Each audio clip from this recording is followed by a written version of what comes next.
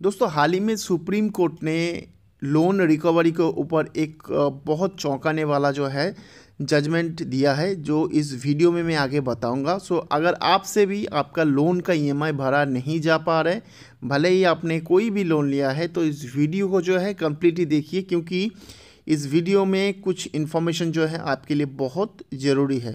दोस्तों, मैं हूँ हसन, आप देख रहे हो यू नीड टू नो। अगर वीडियो अच्छा लगे तो लाइक कर दीजिएगा, इससे मुझे काफ़ी मोटिवेशन मिलता है और अभी तक मेरे चैनल को अगर आपने सब्सक्राइब नहीं किया है तो चैनल को सब्सक्राइब कर लीजिए क्योंकि इस चैनल पे आपको credit card banking finance related video regularly मिलते रहते हैं।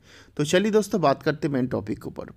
दोस्तों, हम सभी को पता है, अगर हम कोई भी सिक्योर लोन लेते हैं और उस लोन का ईएमआई टाइम पे नहीं भरते हैं तो बैंक क्या करते हैं? टाइम टू टाइम आपको लीगल नोटिस सर्व करता है और उसके बाद भी अगर आप पेमेंट नहीं कर पाते हो तो आपका लोन एनपीए में कन्वर्ट हो जाता है। उसके बाद सरफेसी एक्ट लगता है और फिर जो है बैंक आपके जो भी मॉडगेज है या फिर जो भी प्रॉपर्टी है, उसको ऑक्शन में डाल देते हैं। फिर आपका प्रॉपर्टी को बेच देता है। उसके बाद जो भी अमाउंट होता है वो अमाउंट रिकवर कर लेता है बैंक और अगर ज़्यादा पैसे में बिकता है, जिन, जितना रिकवर करना था उससे ज़्यादा में तो रेस्ट ऑफ़ द अमाउंट आपको मिल जाता है। लेकिन मोटा मोटा बात ये है कि आपका प्रॉपर्टी या फिर आपका जो भी मॉडगेज आपने रखा था लोन लेते वक्त, वो सारे को सारे बैंक के पास राइट होता है, वो बेच के उसका पैसा जो है खुद से रिकवरी कर ले। तो हाल ही में ऐसे ही हुआ था एक बोरोवर के साथ, जिन्होंने बैंक ऑफ़ बड़ौदा से लोन लिया था, जो कि मॉडगेज लोन था सिक्योर लोन था, उन्होंने दो अपना प्रॉपर्टी मॉडगेज रख के लोन लिया था और उस लोन का पैसा काफ़ी लंबे समय से नहीं भर पा रहा था, जिसके चलते उनका प्रॉपर्टी को ऑक्शन में लगा दिया गया था।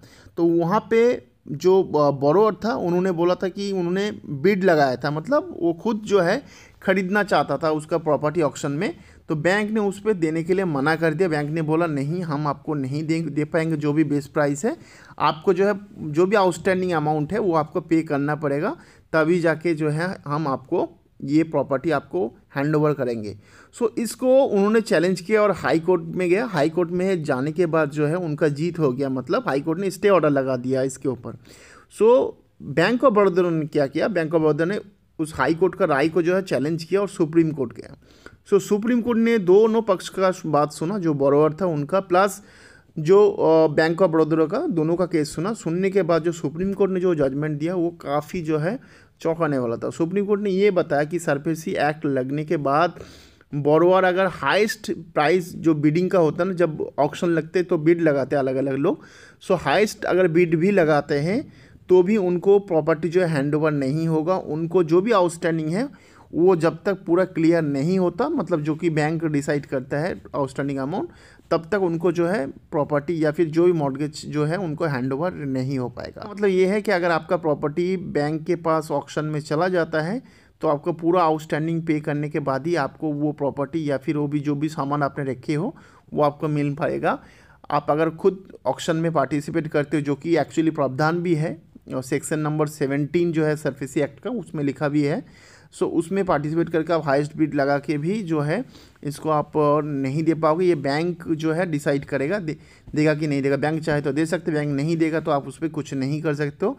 ये सुप्रीम कोर्ट ने भी अभी जजमेंट दे दिया है। सो दोस्तों आपके हिसाब से क्या जो ये सुप्रीम कोर्ट ने जो जजमेंट दिया है कि आपके हिसाब से क्या मतलब सही है या फिर नहीं है?